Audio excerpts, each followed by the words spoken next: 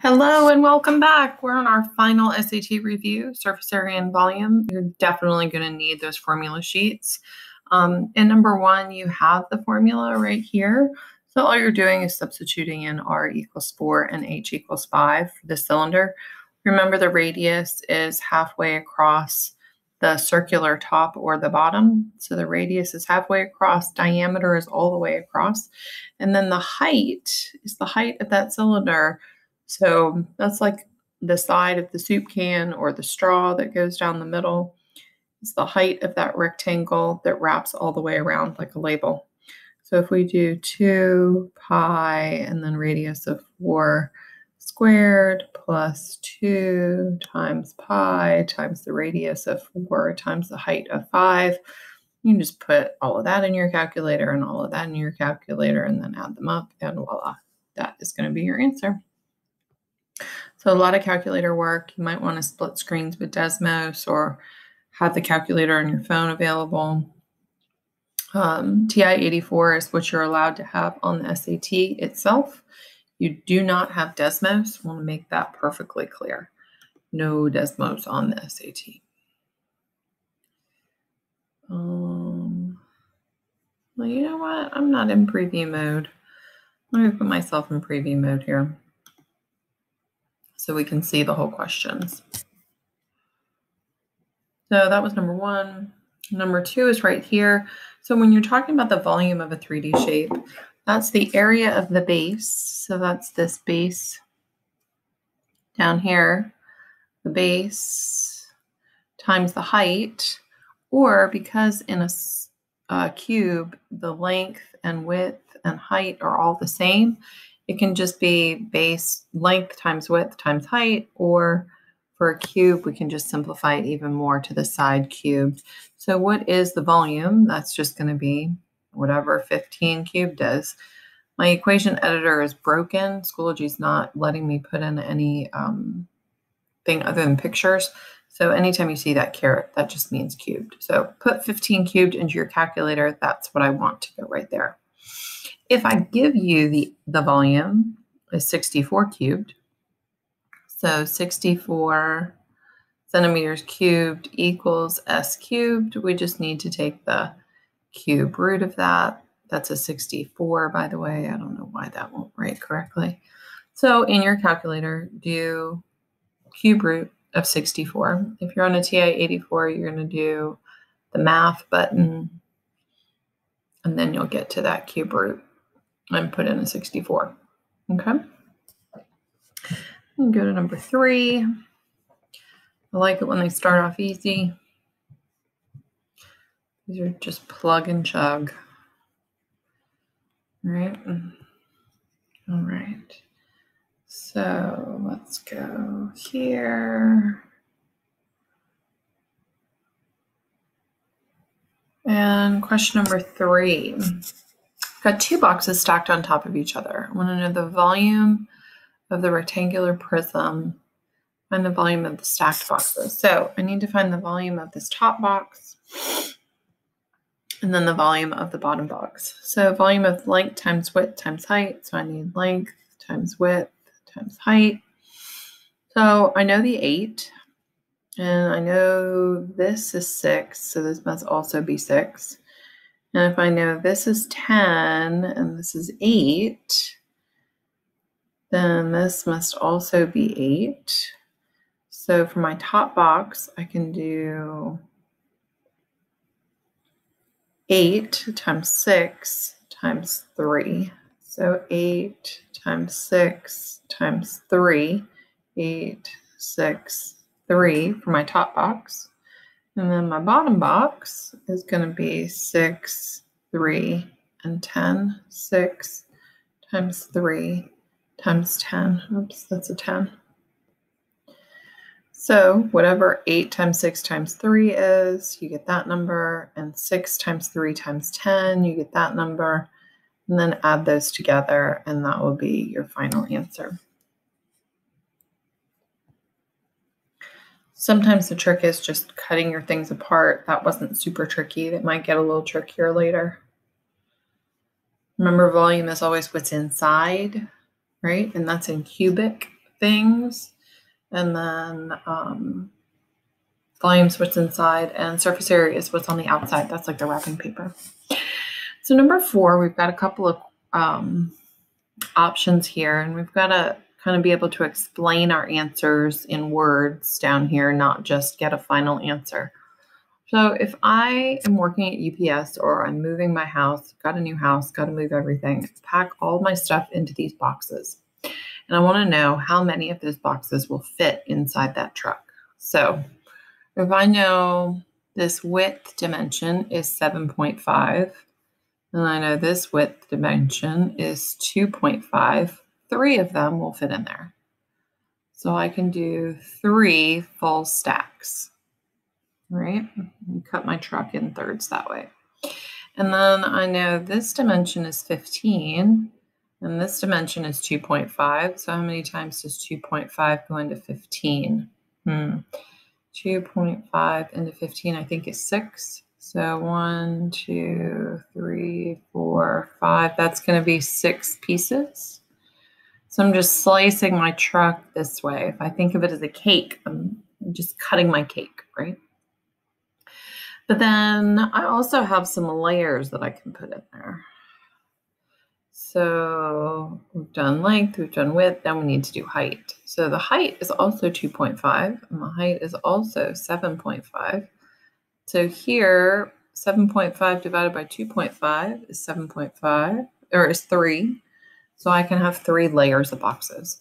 So three layers of boxes that are three high and six long.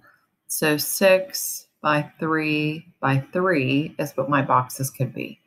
So I could do it that way. Six times three times three is going to be your number of boxes. Another way to do it is to find the total volume. So the total volume would be 7.5 times 15 times 7.5. And then find the volume of each of these boxes, 2.5 cubed, and then divide those two numbers. So whatever this is divided by whatever this is should give you about the same. Now, is that going to work every time? Probably not. These boxes fit exactly in 3 by 3 by 6. But if this was just 2.0 or 2.2, 2 point something other than 5, then we would lose some volume. So you just got to be able to explain that. How do you fit all of those cubes in? How do you cube out that truck? So that there's no gaps, no spaces. You can fit as much as possible in there without having to um, make extra trips because you know if you've ever moved you know extra trips in the truck is extra money extra gas extra aggravation extra time on the clock because usually they're charging by the hour it's kind of a pain all right question number five so we've got a cone and the cone has a radius of six so radius of six the cone is sliced horizontally so that the top piece is smaller. So I'm going to redraw the smaller piece up here. That's the smaller piece. That's the total cone. So that the top piece is smaller, has a height of one. So I have h equals one over here and the base radius is 2, and r equals 2. So h equals 1 and r equals 2. What is the height of the bottom piece of the cone? So if I have a height and a radius here, and I have a radius here, if I just think about these triangles here, I've got a height and a radius, and I've got a height and a radius, and I know that's a right angle, I know that this angle up at the top is going to be the same. So by angle, angle, these are similar triangles. So I can do 1 over 2 equals x over 6. When I cross multiply, 2x equals 6.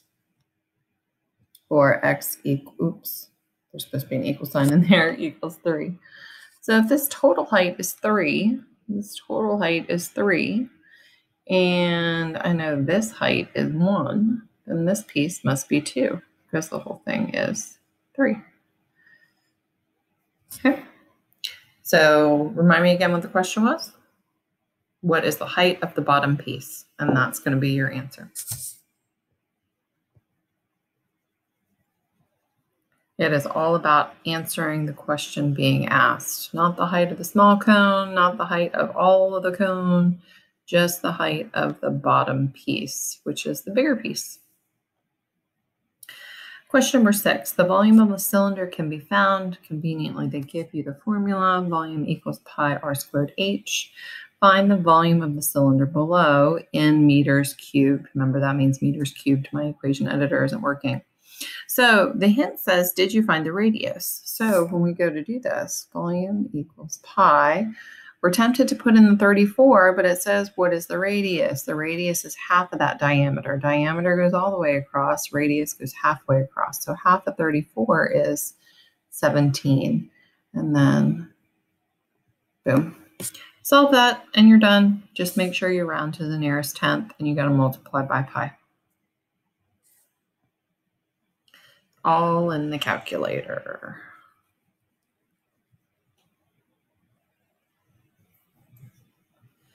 Question number seven. Find the height. This should be of the cylinder below. Typos abound. Given the circumference is 10 pi. So if C equals 10 pi and C equals 2 pi r, right? Circumference is 2 pi times the radius. Then I can solve this by dividing by 2 pi, dividing by 2 pi. So 5 equals the radius. So radius is 5. And then I'm told the volume is 100 pi. So V equals 100 pi, and volume is pi r squared. Divide by pi. Remember from uh, change of attributes, if you've got the same thing on both sides, you don't need to worry about it. And then you take the square root of both sides to get rid of the 2 exponent. So r, r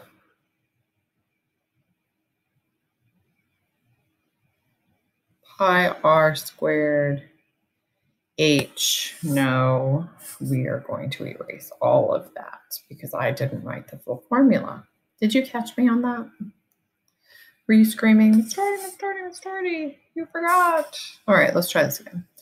B equals pi r squared h. B equals pi r squared h. So we've got 100 pi equals pi, and I just found my r, which is what I forgot. 5 squared h. So my pi's cancel out. 100 equals 25h. Divide by 25, divide by 25, and h equals 4. Boom. It's nice when you can recover from crazy mistakes, right? Make sure you write those whole formulas out. All right, the next drawing, you got to kind of think through the drawing a little bit. That's sometimes what'll get you. It's just translating the question here. What is the volume of the hollowed out cylinder? So if you imagine this, this is a tube, right? We've got this tube, and then we take a drill and we drill out this whole inside part. This whole inside part here is drilled out and missing. It's hollow, okay, like a toilet paper roll. Kind of what it looks like. So we are told what is the volume of the hollowed out tube. So we need to find I need to erase just a little bit of this so I can see my numbers. We need to find the total outside volume. So if this was solid, what would the volume be? Volume of the outside is going to be pi r squared h. And the r here is the 6, right? So v equals pi 6 squared, and the height is 10. Okay. For them, we're going to drill out the center part. So if I drill out this center part, that blue part, it's going to be V equals pi R, which is 1, 1 squared, still times 10. Okay? So we solve this, V equals 10 pi. We go back to our pink one. And V equals 36 times 10, 360 pi. And then we subtract them. So I start with this purple pink roll, and I've got to subtract out 10 pi for that center. So what's left? The total minus the hollowed out part, the blue part, equals the tube.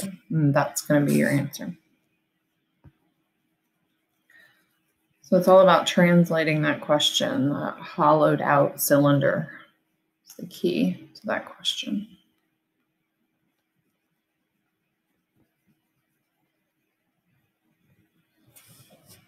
Number nine, Jenny wants to wrap a rectangular box with wrapping paper. The, ba- the box has a square base. Okay, so square base is really important. We've got a square base.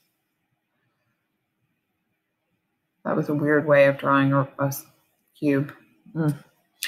So if my base here is 25 and I know it's square, then each of the sides are 5 because 5 times 5 is 25 and that base is 25. Okay.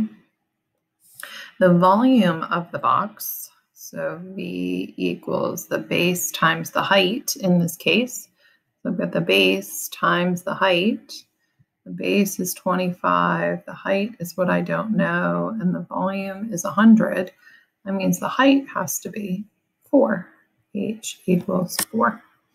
How many square inches of wrapping paper will Jamie need to exactly cover all of the faces? So surface area is 2LH plus 2LW plus 2WH. So I've got length and width and height. So 2 times 5 times 4 plus 2 times 5 times 5 plus 2 times 5 times 4. You do all that math, voila, correct answer. That square base is the super important part. Every prism can be written as base times height for volume. It doesn't matter. Even a cylinder, the base is the circle, so that's the pi r squared, and then times the height. So it's always base times height.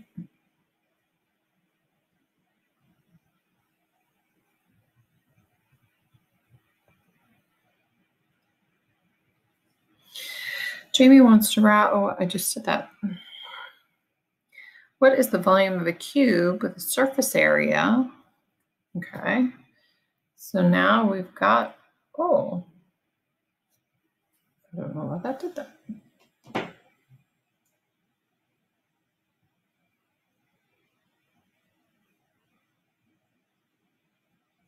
Strange. We've got surface area equals 24a squared. So if we think about a cube,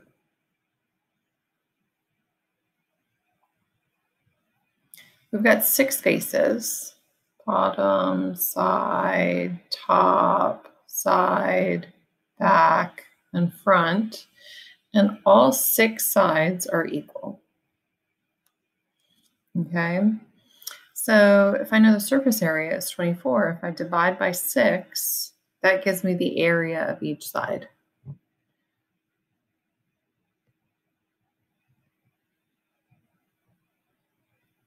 So the area of each side is 4a squared.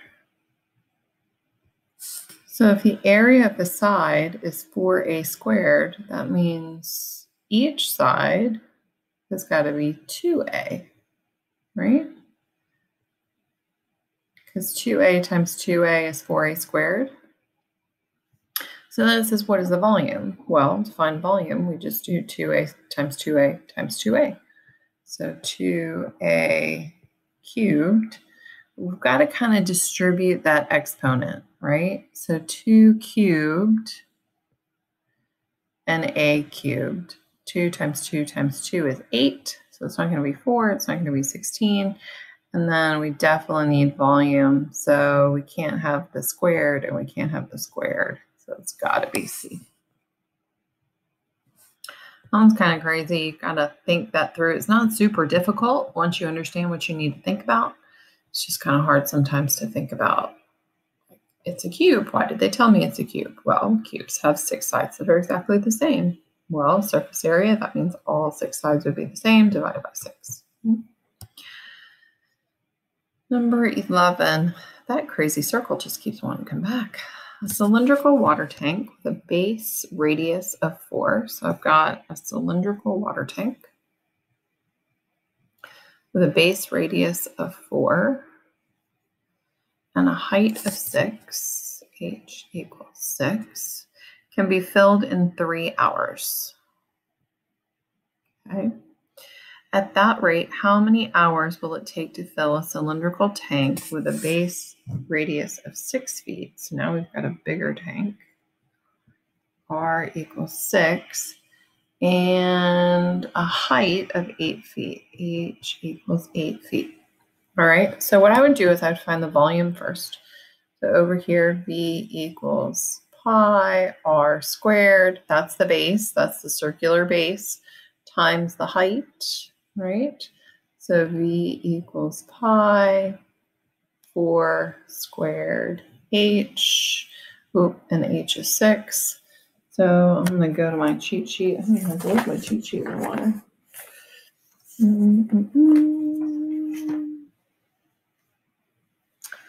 So I think that's 96 pi. B equals 96 pi. And that can be filled in three hours. So we're going to divide it by three. But we're just going to leave it like that as a, as a ratio. So over here, we've got V equals pi r squared h. So V equals pi times 6 squared times 8. So that's going to give me 288. 288 pi. And I want to know x hours. So I'm going to take this fraction and this fraction and set them equal to each other. So 288 divided by x, oops, don't forget the pi, equals 96 pi over 3. Remember, this is hours, right? So we can cross multiply here. We cross multiply and we cross multiply solve that proportion, you're going to have to round. Okay, so you want to find which of those numbers is closest to the answer here. 288 times 3, because again, you've got pi on both sides, so the pi's are going to cancel out. So 288 times 3, 288 times 3 equals 96 times x. And then solve that equation. You'll have your answer. Tennis balls. I've been playing so much tennis with my daughter. It's great. Sometimes we bring the dogs, lock them in the tennis courts, let them run around. But then our balls get kind of slobbery. It's kind of gross, actually. So they have fun. We take them when we have bad balls and need to buy new ones. All right, let's see what this tennis ball question has in store for us.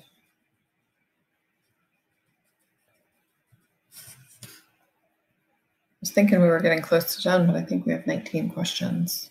And this is only number 12. Yikes. Here, we'll see if we can make this thing go away for real now, since it keeps coming back. All right. Cylinder in the shape of a right circular cylinder is shown. It's just large enough to fit three tennis balls exactly, radius of two inches. So radius equals 2.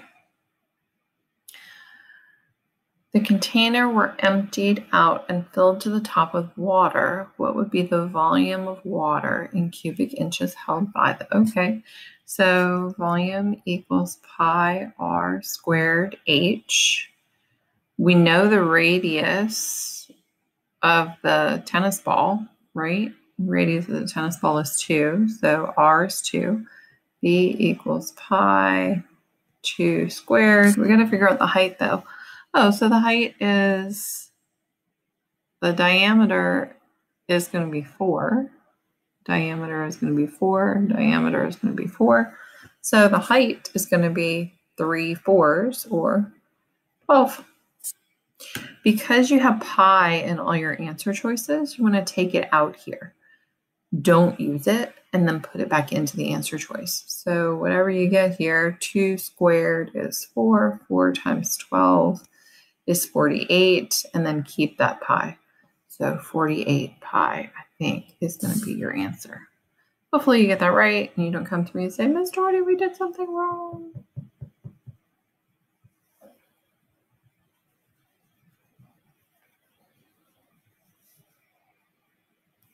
Marching along, number 13. An aquarium. An aquarium has 80 inches by 25 inch base and a height of 30. So we're going to do 80 and 25 and 30. The aquarium is filled with water to a depth of 20 inches. Let's get some blue water.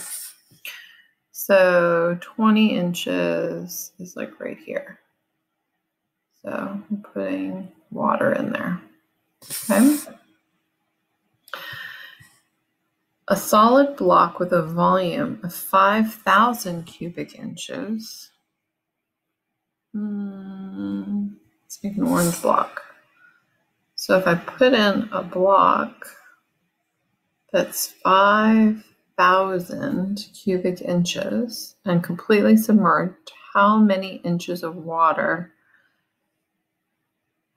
Hmm. All right. Well, there's a couple of things to do here. So we can figure out how much water we have, right? So the water is 20. So volume of water is 20 times 80 times 25, right? So volume of water, I think I did it this way, so I'm to pick up my calculator. 20 times 80 times 25, it's to give me 40,000. Volume of water equals 40,000. And then we're adding the brick that's 5,000 so now that's 45,000. And I want to know how tall that made the water line, right? So 45,000 is my new volume. That's the water that we had plus the brick. And I know that that's length times width times height. I'm looking for the height. So 45,000 equals 80 times 25, because that's the 80 and the 25. I'm looking for the height, times h. So 45,000 divided by 80 divided by 25 is going to give me the new height, which is the same, and it shouldn't be. So 45,000 divided by 80 hmm. Keep pushing crazy stuff in my calculator. Divided by 25. Ah, it does give us a new one. So, and this says how many inches does the water level rise? So the original was 20 inches and it rose to a new number. You need to subtract those. So whatever you get for H, the answer here is going to be H minus 20 equals, and that's what you put in the blank. Okay, you're going to solve this equation, solve it correctly. When I did it the first time, I thought, oh, that I didn't do that because I was just using the 40,000, not the 45,000. Got to remember to add that 5,000 in your calculator, not just on your paper. Hmm. See all my crazy open tabs. Actually, there's not very many right here.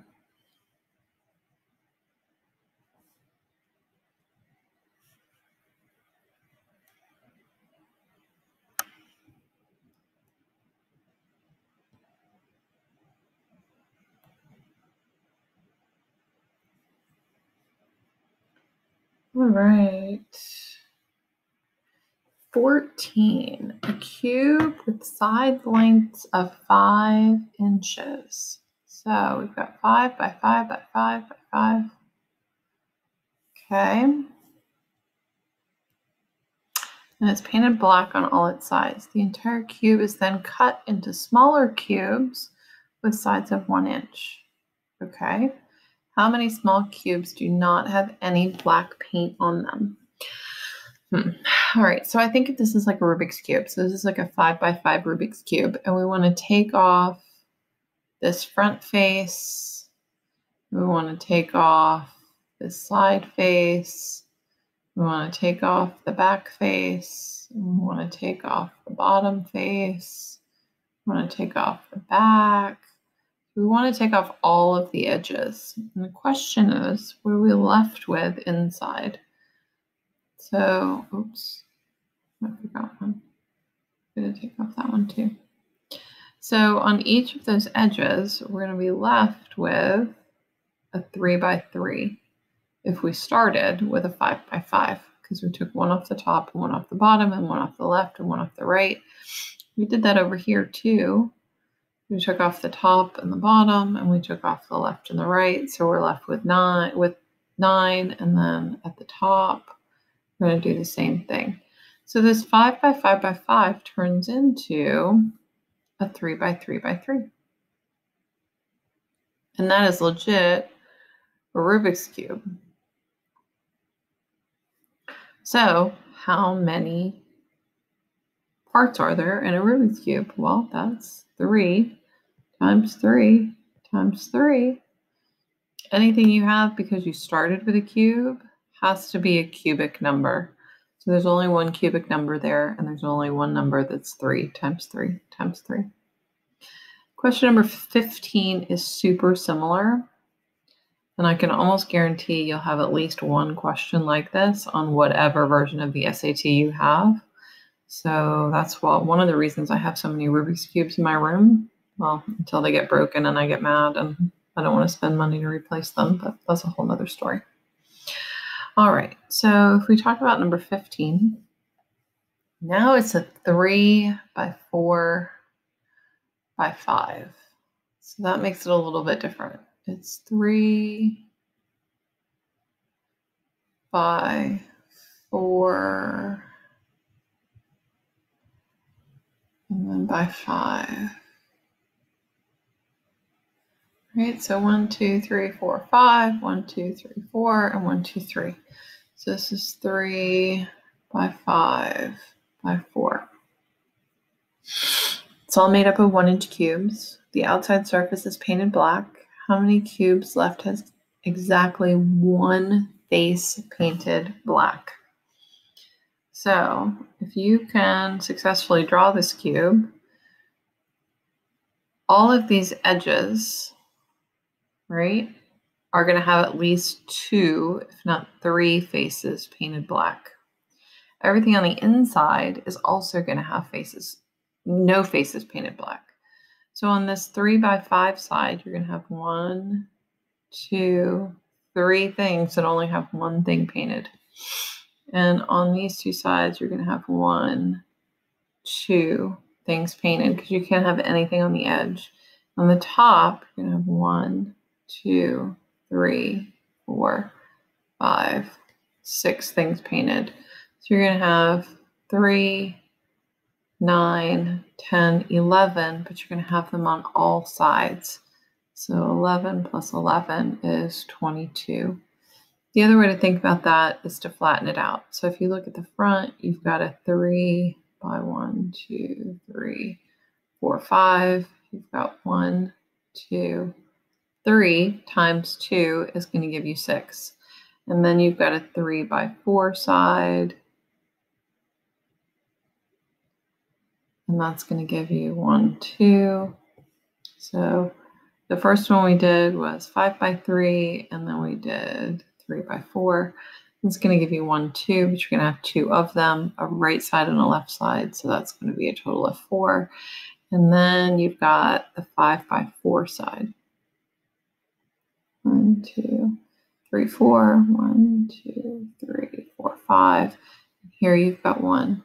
two, three, four, five, six. That's the top and the bottom. So that's going to be six on the top, six on the bottom. That's going to be 12. When you add all those together, you still get that 22. These are testing your visualization skills. So don't worry about it. If you're the algebra person that loves to solve equations and you just cannot visualize this in your head, that is absolutely fine. If you know this is a question you are not going to get right, do not waste a single second on it. Like I said, the SAT is a timed test. So you want to make sure you're getting the most bang for your buck from all of those minutes. Food manufacturer manufact packages ice cream cones. Yum. Each ice cream cone consists of a right cylinder. So a right cylinder, that volume is going to be one third pi r squared h, right? The base times the height and then one third because it's pointy. And a hemisphere. So that's four thirds pi r cubed, but we only want half of that because it's like a half a sphere. Hemisphere. The right circular cone has a base of 9, base radius of 9. So r equals 9. And a slant height, uh-oh, a slant height of 15. So we want to know that actual height, right? You see that's a right triangle?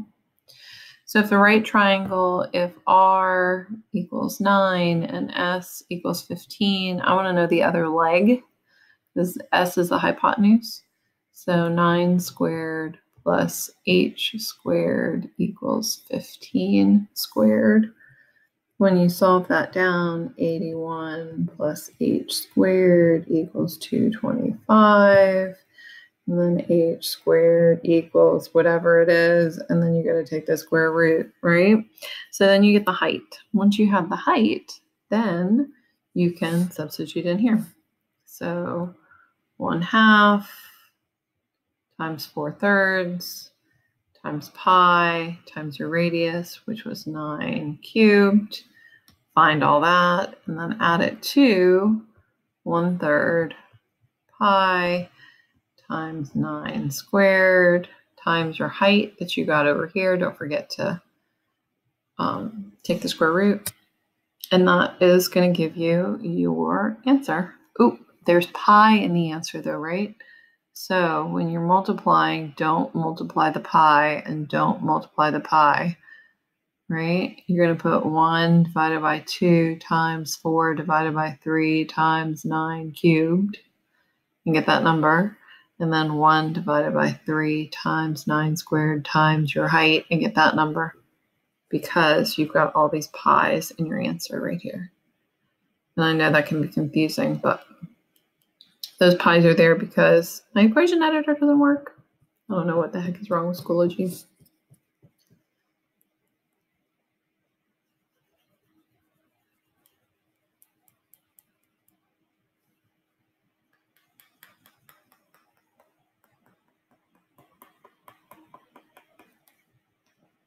Feel like I've erased this about six times.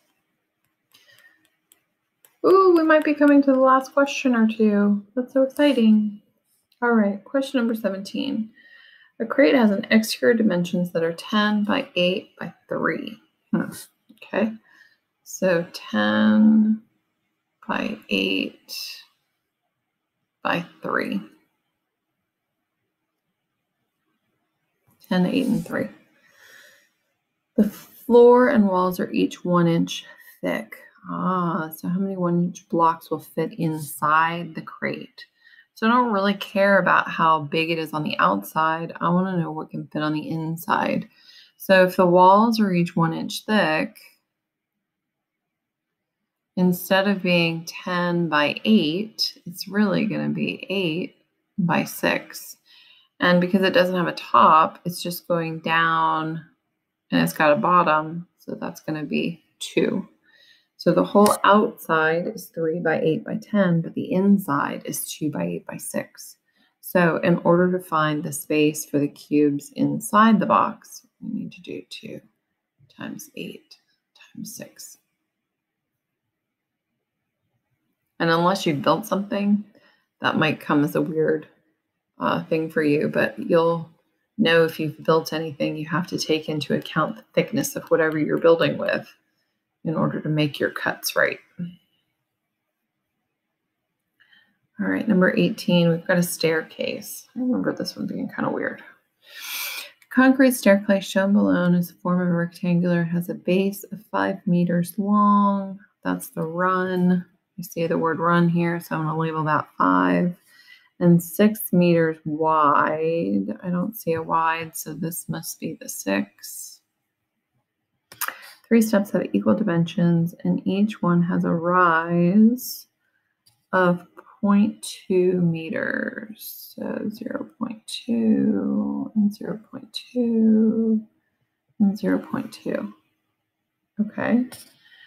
Um, if the density of the concrete density equals 130 kilograms per means divide meter cubed, what is the mass of concrete of the staircase in kilograms? Okay, so we need to find total volume. Usually I try to cut these into pieces. So I think I'm going to cut them into pieces this way, like a layer cake. Okay, so this bottom layer is 6 by 5 by 0.2. So 6 times 5 times 0.2. That's the bottom layer. And then that 5 is actually divided into three pieces. So this one is going to be 6 by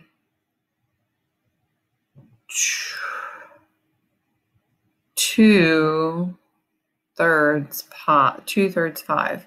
So six times two thirds of five times 0.2. That's the middle, right? So because if I divide this by into thirds right here, that's two of those thirds.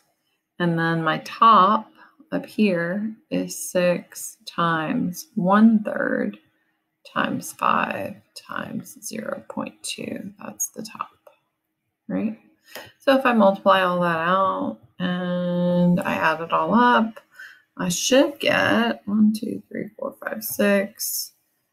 6 times 10 times 0 0.2. So that's 60 times 0 0.2.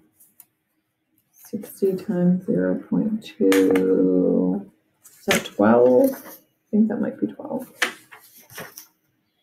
It is. So 12 meters cubed is I think what I get there.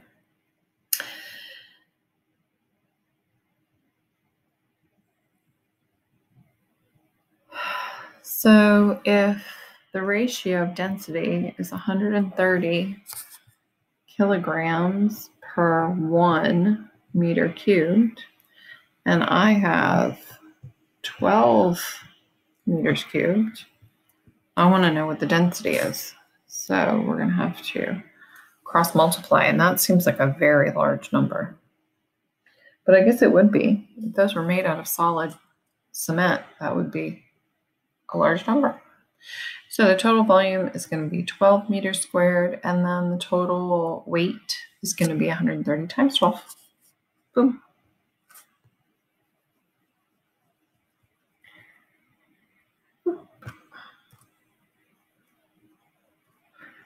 Last question. I hope it's an easy one.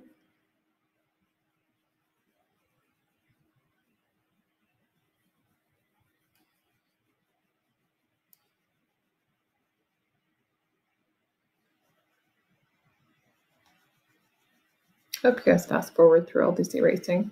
Maybe you're writing notes. Maybe you're dual screen and just answering the question in Synergy or Schoology. I don't know.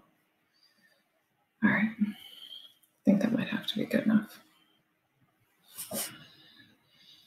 In the figure below, a cylindrical block of wood is sliced into two pieces as shown. So when you slice something like that, looks like should be cut in half, I think. What is the volume of the top piece? So that's just the top half in centimeters if the radius. So volume of a cylinder is the base, pi r squared times the height. The radius is 2, so pi times 2 squared, and the height is 5. Oh, so pi 4 times 5, so 20 pi, and then we've sliced it in half. So if we had 20 pi, we slice it in half. Boom, that's our answer. The end.